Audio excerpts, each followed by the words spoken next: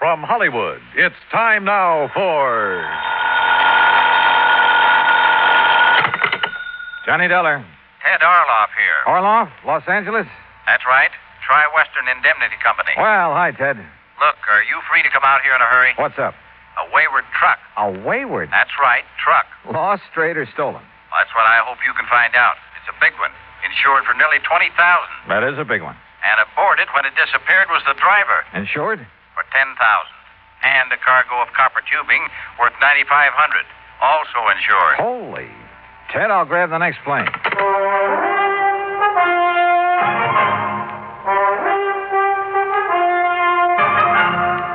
Bob Bailey in the exciting adventures of the man with the action packed expense account.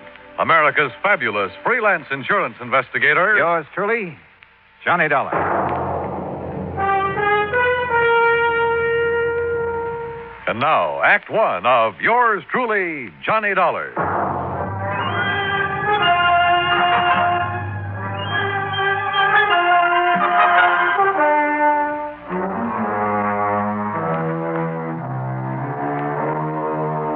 Expense account submitted by Special Investigator Johnny Dollar to the Tri Western Indemnity Company, Los Angeles office.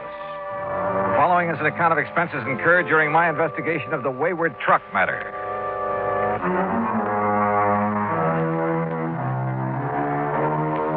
Expense account item one $194.65, airfare and incidentals, Hartford to Los Angeles, California. When my plane set down at the International Airport shortly after 9 a.m., Ted Orloff was waiting for me. He led me on out to the parking lot. Here we are, Johnny. This car right here. All right. Go on, hop in.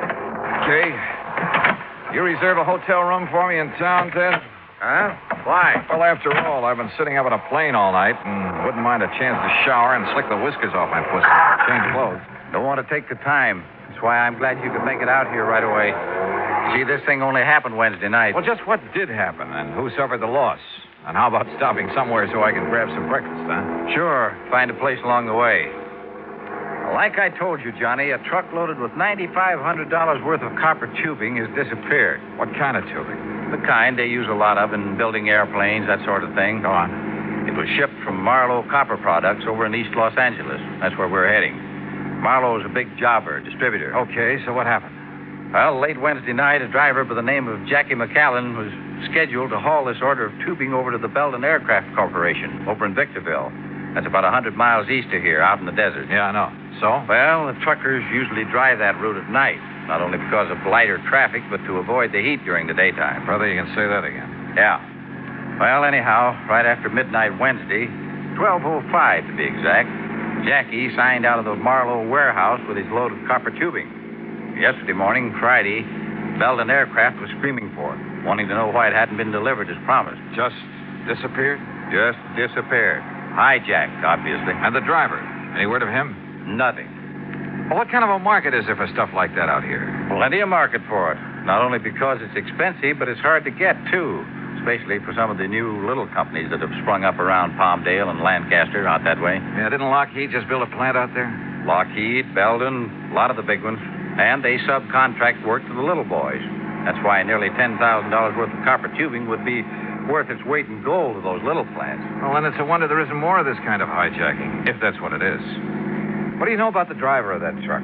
Jackie McCallion is as honest as a day is long. Yeah, who says?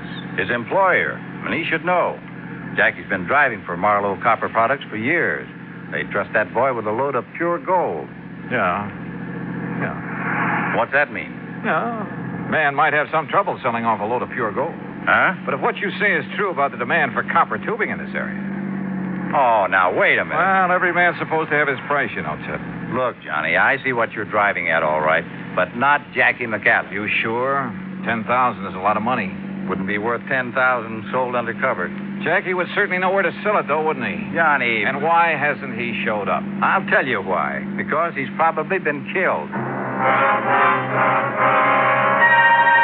Item two, $1.75, breakfast for me and a cup of coffee for Ted Orloff on the way into Marlowe Copper Products in East Los Angeles. I was amazed at the way this industrial area has grown in the past few years. The Marlowe operation turned out to consist of a small office and a couple of warehouses. Marlowe himself was a tall, lean man of about 50, very much on the ball. Yes, sir, Mr. Dollar. It's as simple as that. Now, Willie here is the night watchman. I do, sir. Hi, Willie. According to Willie's clock in the shipping order in the manifest, Jackie McCallion signed his load out at exactly 12.05. And that's the last we've seen of either of them. He took off alone with a load worth $10,000? 9,500, yes. Well, isn't that taking quite a chance? And he's done it many times. Mr. Marlowe, how much does this Jackie earn a week? Well, that would depend. Anywhere from a hundred and. Oh, now, wait a minute. If you're thinking what I think you are, you're wrong, Dollar. You're dead wrong. Just as I said, Johnny. Sure, why? I'd trust Jackie with my own life. And believe me, whoever's done him in, well, he's going to have to deal with me. I'll see him hang. Well, what makes you so sure he's been done in? Well, it's the only thing that could have happened to make him give up a shipment of goods. A hijacker'd have to kill him. And whoever did this to Jackie, Tell me, do you think there's any possibility of his having been approached beforehand by hijackers? Perhaps threatened into turning the shipment over to them? no, not a chance. He would have told me of anything like that immediately. If he had time, maybe. Who's working on the case now, Mr. Marlowe? The L.A. Police Department and the Sheriff's Department of every county in Southern California. Are all your trucks like those two I see out the window there? Jackie's was. We got four of those big singles. Did have. Now it's three. And three big tractor trailer rigs. Mm-hmm. A truck like one of those is a pretty big hunk of stuff to just disappear. Willie, Uh, yes, sir. were you on duty Wednesday? Yes, sir, I was. Did you notice anything unusual about Jackie that night? Why, no, sir. Not that I noticed. He came to pick up his truck alone, huh? I didn't see nobody else with him. Well, uh, did he look worried, anything like that? Not that I could see, no, sir. And he didn't say anything that might have indicated things weren't as they should be. Not that I heard, no, sir. Just exactly what did he do? What the driver always does come in, signed in, signed up the manifest, putting down the time, and then drove off with his truck like always. Nothing unusual at all. Not that I saw, no, sir. Mr. Marlowe, where did Jackie live? Somewhere over on West 3rd Street. He lived alone. Naturally, the police looked for him there first thing. May I have that address, please? I'll have my secretary get it for you. You, uh, you all through with me, boss? Yes, Willie, if you're going to work tonight, you better get some sleep. Go ahead. Yes, sir, thank you. And believe me, nothing's going to happen to anything this time. If I were you, Mr. Marlowe, I think I'd have more than that for a night watchman in a place like this. Just what were you thinking of, Mr. Dollar? Jackie's address, I mean. Look, if the police and sheriff's offices haven't been able to turn up anything, well, in spite of what you said, there's always the possibility of collusion in a case like this. Between, between Jackie and whoever stole that truck? Oh, no, sir. There's always the possibility, voluntary or otherwise, if Jackie was in with the hijackers, even against his will. I, I wouldn't believe it. But it's a possibility, whether you want to believe it or not. For one thing, how would the hijackers know when and how the shipment was to be made? From any one of a number of sources. The man who supervised the loading here, for instance. Oh. Red Kingsley, or almost anybody in the place, or just as easily anyone over at Belden Aviation in Victorville. Belden would know exact time of departure from this warehouse? Well, no. Close timing in a hijack operation is usually pretty important. But they knew the stuff was due at their plant early Friday morning. They've been hollering for it ever since. I'll lay my money on the tip off coming from this end. Now, has the route between here and Victorville been thoroughly gone over? By the police. And they found no sign of either the truck or this fellow Jackie? That's right. The truck, of course, could be disguised, new coat of paint, that sort of thing, often done. But no body, alive or otherwise. no. So how do you plan to proceed? Well, if Jackie was forced to participate, And I- I'm sure he wasn't. then I don't know. Let me have that address, huh?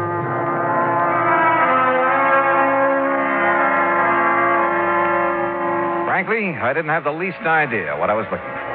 But I couldn't just stand around, so I borrowed a company car with a name and a number plastered all over the side and drove to the West 3rd Street address, hoping I'd have no trouble persuading the manager to let me in.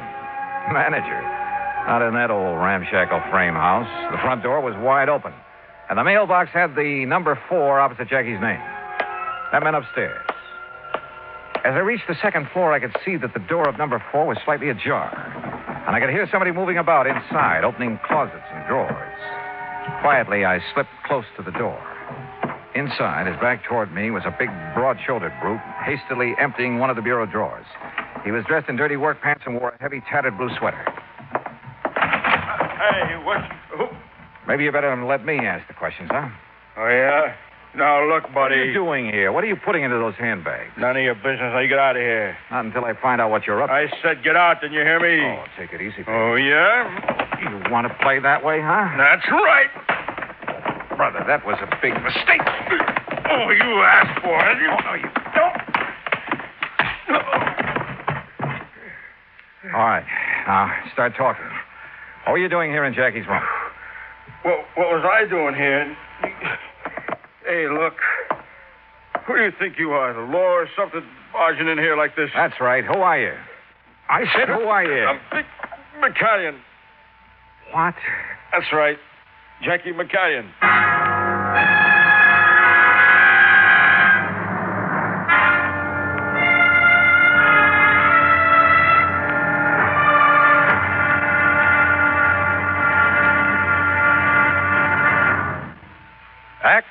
Of yours truly, Johnny Dollar, in a moment. Our flag now numbers 50 stars, and behind each star there stands yet another flag representing one of the 50 states. New Jersey's flag was created at the direction of George Washington. In 1779, General Washington directed that the New Jersey Continental regiments wear coats of dark blue with buff colored facing. This was done as a tribute to the former ruler of these colonies, the Dutch, whose national colors were buff and blue. Later, he instructed that the field on the flag of New Jersey should be the same buff color, and the state coat of arms in blue be placed upon it. The state's motto, reflecting the aspirations of all who came to these shores, is also inscribed on the flag liberty and prosperity. This flag was displayed proudly before the combined American and French armies at the surrender of Cornwallis's army at Yorktown. New Jersey state flag, the flag of the third state to enter the Union, was adopted on March 26, 1896. Now, Act two of yours truly, Johnny Dollar, and the Wayward Truck Matter.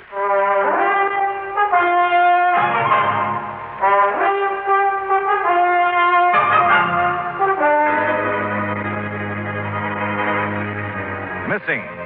A $20,000 truck from the Marlowe Copper Products Company of East Los Angeles.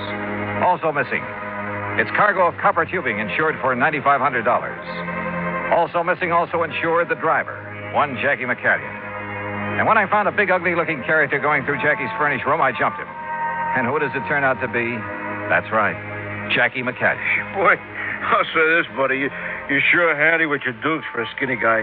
Hey, who are you anyway? Johnny Dollar, insurance investigator. And look, I'm, I'm sorry I must jump, Uh, Jackie. i- i- insurance what? Well, I came here to find out what happened to you and that truckload of copper tubing that never got to Belden Aviation over in Victorville. What are you talking about? Of course it didn't. Of course not. Well, why? because the shipment was called off, that's why. What? Well, sure. It, it was supposed to go out Wednesday night, right after midnight. And it did. At least it left the warehouse. Oh, that's where you're wrong. Because me and Betsy, we was going to take it. Betsy? Yeah, Betsy, you know, my truck. Only the order got canceled out. Who says so? The office? Who at the office? Well, how shall I know? All I know is I was here in my room getting ready to go over and pick up Betsy and the tubing, and the phone rung, and a girl from the office says the shipment is canceled out. What girl? Do you know? I don't know. Some girl says she was in the office or so. You know, one of the girls, like they always giving out the orders, you know. And uh, she told me the boss says on account of there ain't no more trips for me this week, I can start my vacation right away instead of next week. But you don't know which girl in the office told you that. I told you, I don't know. I told her, tell Mr. Marlowe thanks, that's all. Why? D- didn't she tell him? Where have you been since Wednesday night? Well, down in San Diego, staying at my sister's and doing some yellowtail fishing while I was there. you know, out around San Clemente Island. Boy, they pulling in the big ones. Yeah, I'm sure Wait, they are. There was look- one guy on our party boat that. Hey, wait a minute. Wh- What do you mean the shipment went out? Just that. On schedule. A little after midnight But on that girl told me. And it hasn't been heard of since. You You mean it went out in my truck? In Betsy? Who took it? According to everything we know, you. Oh, no, sir. Eh, By midnight Wednesday, I was halfway to San Diego in my car. Look, you ask my sister down there. I got there before 1 a.m. Call her up and ask her. Go ahead, call her. You're sure of that? Oh, sure, I'm sure. And if some dirty guy took my Betsy out, I'll kill him. Don't nobody ride Betsy but me. Well, what were you doing when I came in here? Packing those bags in such a hurry. What for? My vacation. What's the matter? Don't you hear good? Hey, well, look, mister. If somebody took my truck out. Okay, and- Jackie. Okay, calm down and come along with me. Where? We're going back to uh, Marlowe Copper Products to talk with a couple of people. Maybe do a showdown. Jackie? With a name like that, I'd pictured a slim, wiry little fellow, not this big gorilla. And from what he'd said and what he told me on the way back to the Marlowe warehouse, I was convinced he was telling the truth about his whereabouts the night of the robbery. But then, who could possibly have been a close enough double for Jackie to fool the watchman? Or had the watchman been trying to fool me and the police? And why? Or could Marlowe himself have somehow contrived to? But again, why? And if Marlowe was up to something, well, he'd have been smart enough to put or at least keep Jackie out of the way. Honest a dollar, did you find Jackie? Hi, boss. Hey, hey, what's going on around Jackie, here? thank heaven, boy, you're all right. Oh, sure, I'm all right. We thought you'd been killed or something. Oh, me, Killed? Where'd you find him, Dollar? Where's the truck? hey, boss, that's what I've been trying to find out. Only all this guy here does is ask me questions. Well, the important thing is you're all right. I didn't tell you this before, Dollar, but Jackie's as much a part of this business as I am. Ah, come on, Ah, you started out with me in the beginning when I didn't have a penny to my name. Worked seven days a week, night and day, helping me build up this business. And you've kept him just a truck driver? What do you mean, just kept me a truck driver? That's the way I like it. Oh. Yeah, even the big retirement he made for me. I don't want that. I just want to keep on driving the truck, just like I am, and maybe go fishing now and then. That's what I like, and I'm happy. Thank God you're still all right. Hey, but what about Bessie? Yes, Dollar, what about the truck? Any ideas, any leads? Mr. Marlowe, I want to talk to that night watchman of yours again. Oh, well, Willie? That's right. Let's just hope he hasn't skipped town. Skip town. Would you see if you can locate him and get him down here? Well, of course. You think he was involved in the hijack operation? Well, let's get him in here, if we can, and we'll see.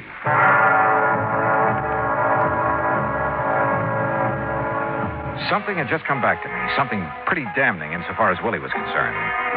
It was the way he had answered my questions when I talked to him before. Was there anything unusual about Jackie when he came to pick up the truck? Well, not that he noticed, he said. Had Jackie picked up the truck alone?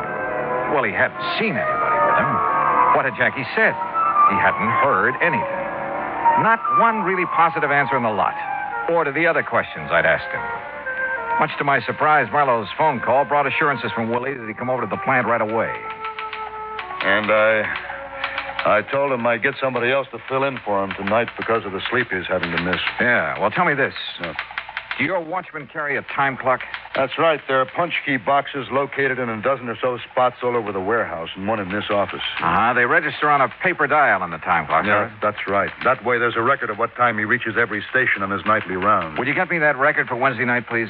Well, of course. And while you're at it, I'd like a copy of the shipping order and the manifest for that truckload of copper tubing. I'll have my secretary get them for you.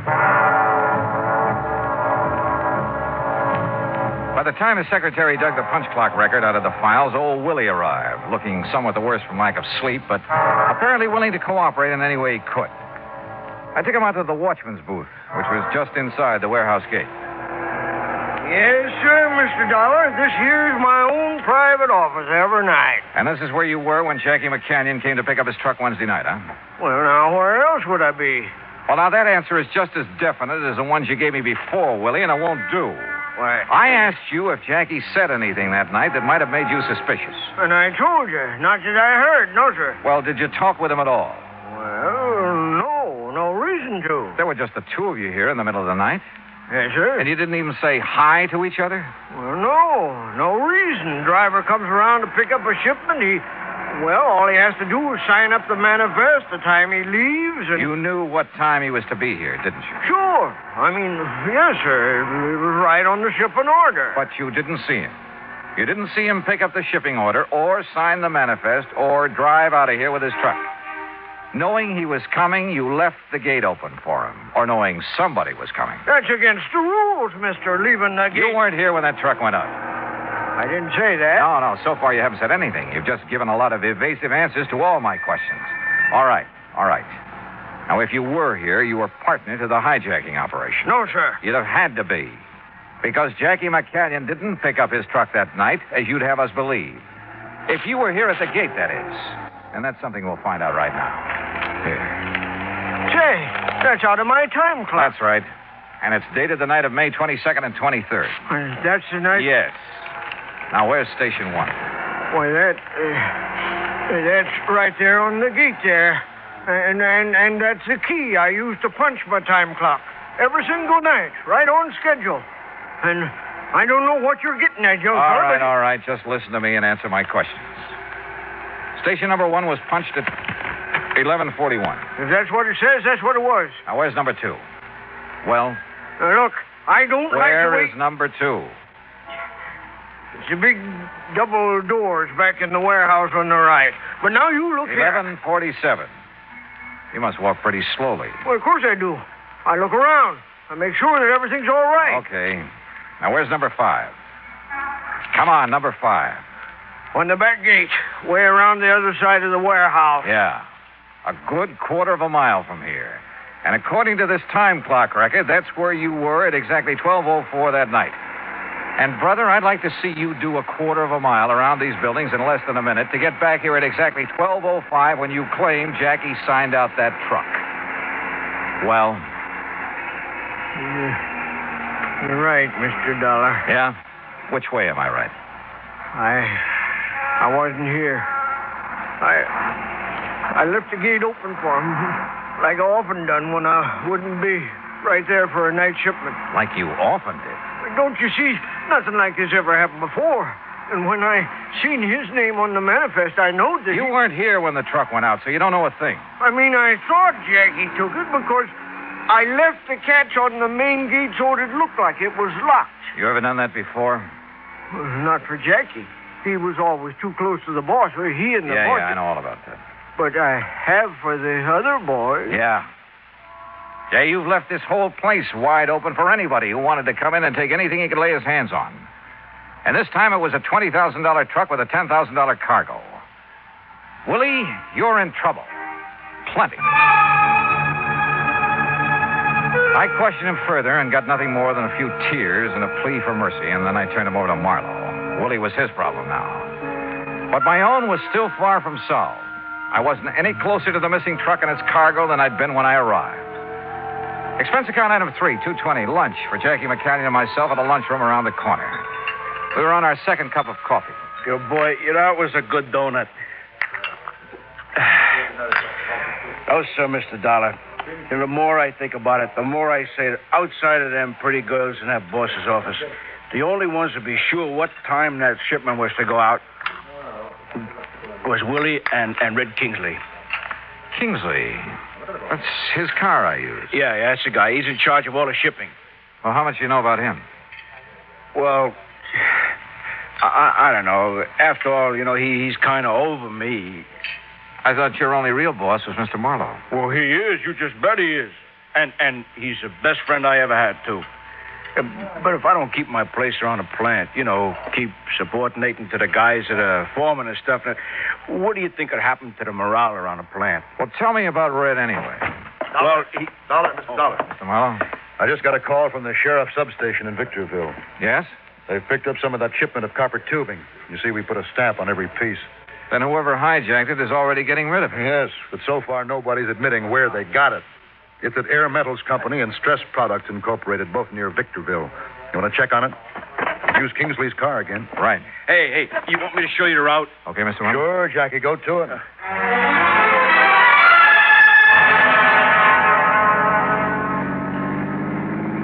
And believe me, we went. I don't know whether the police along the route have been alerted to let us by or not, but we earned more than one speeding ticket before we hit the cutoff around Victorville. The cutoff that would take us on past Edwards Air Force Base where the plants we were looking for were located. All along the way, Jackie had carefully scrutinized every truck we passed, going in either direction. Uh, uh, no, no. Same make and model, but she ain't Betsy. Oh, Jackie, don't you realize that truck of yours is no doubt thoroughly disguised by now? Uh, you think a father couldn't tell his own little baby no matter how disguised it was? Maybe, but a truck. Yeah, now, look at that one up ahead. See the, the one we're pulling up on? Oh, also, same make and model, only this one is painted green. Yeah, want me to slow up as we pass it? Nah, she ain't Betsy. Even from here, I could tell.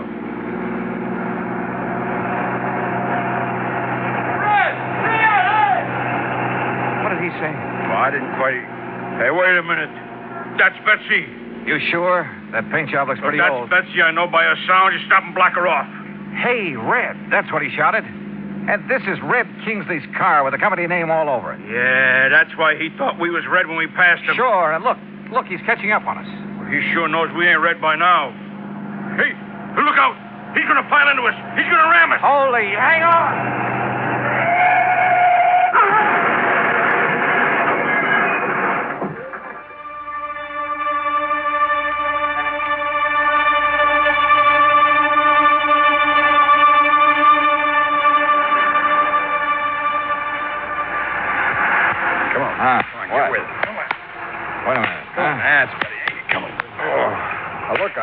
I hate to Hey. keep slapping you on the push this way, but come on. Oh, it's okay. It's okay.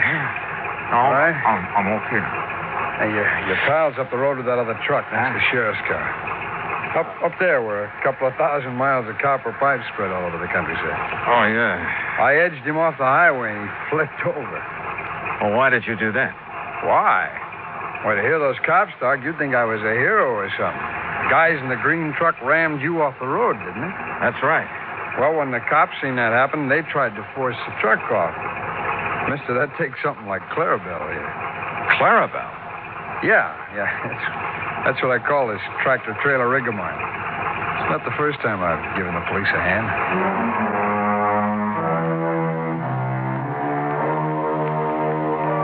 Yeah? They've given a lot of people a hand, those boys who drive the big interstate trucks and trailers. They're a pretty fine bunch to have on the road. Well, I guess it's pretty obvious that Red Kingsley and Marlowe's shipping department was back at the hijacking operation. The two who were aboard the stolen truck turned state's evidence and sang plenty, and the courts will take care of them. Expense account total, including air transportation and incidentals back to Hartford, 50105. Yours truly, Johnny Dollar.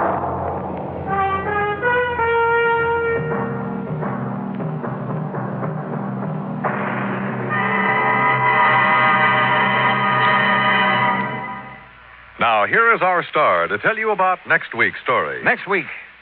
Well, if you think a sudden case of complete amnesia is any fun, you're wrong. Because it happened to me. Join us, won't you? Yours truly, Johnny Dollar.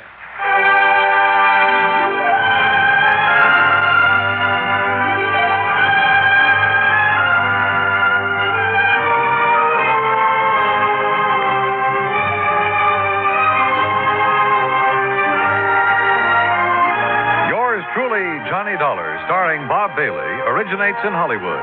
It is produced and directed by Jack Johnstone, who also wrote tonight's story. Heard in our cast were Forrest Lewis, John Dehner, Junius Matthews, Stacy Harris, and Jack Kruschen. Musical supervision is by Amerigo Marino. Be sure to join us next week, same time and station, for another exciting story of yours truly, Johnny Dollar. This is Dan Cubberly speaking.